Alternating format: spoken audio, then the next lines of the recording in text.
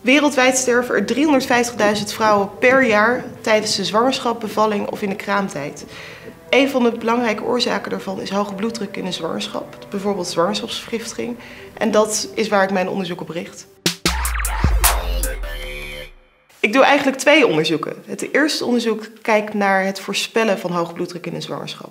Dus ik kijk of ik vrouwen kan inschalen in drie groepen: laag risico, middenrisico en een hoog risico.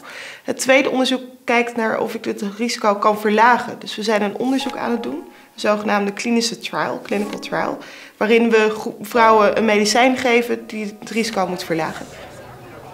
Mijn onderzoek vindt plaats in Ghana. Het is niet zo dat in Nederland het geen belangrijk onderdeel is. Sterker nog, het is ook in Nederland een groot probleem.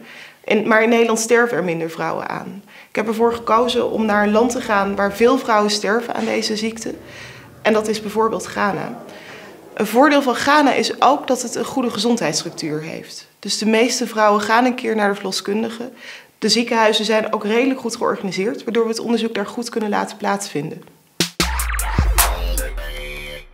Ik heb een aantal opleidingen gedaan. Ik ben gestart met University College in Utrecht. Het is een hele brede bachelor waar ik niet alleen maar gekeken heb naar biomedische vakken, maar juist ook politicologie, ontwikkelingssamenwerking en andere dingen heb gedaan. Om zo een hele brede basis te krijgen.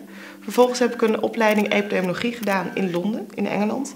En daarna ben ik gestart met een verkorte geneeskundeopleiding in Utrecht, SUMMA. Uh, en daar ben ik in augustus bij afgestudeerd, dus ik ben pas net arts geworden. Ik reis veel voor mijn onderzoek. Het vindt natuurlijk plaats in Ghana, dus daar moet ik vaak ook zijn. Om de paar maanden, enkele weken. Welcome to the College of Physicians and Surgeons in Ghana. En dat is heel erg leuk, maar er zitten ook wel uitdagende kanten aan. Wat bijvoorbeeld iets is wat ik heb moeten leren, is hoe, hoe ga je nou samenwerken in een andere cultuur met verschillende mensen. Dus ik werk met artsen, met onderzoekers. En die hebben allemaal een eigen manier van werken, een eigen stijl. En dat is heel erg cultureel bepaald. Dus daar, dat moet ik leren. En dat is ook wel heel erg leuker aan. Het is iets wat ik niet standaard in een Nederlands ziekenhuis zou kunnen doen.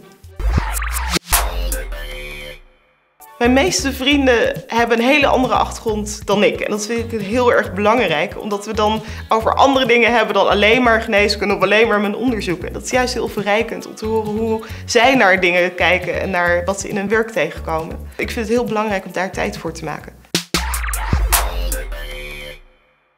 Voor mij is het belangrijk om de gezondheidssituatie van vrouwen te verbeteren. En dat kan op verschillende manieren. Ik kan doorgaan met onderzoek zoals ik nu doe. Ik zou ook terug kunnen gaan naar de kliniek en specialiseren tot bijvoorbeeld gynaecoloog. Of juist iets heel anders en meer de beleidskant op, zoals bij de World Health Organization.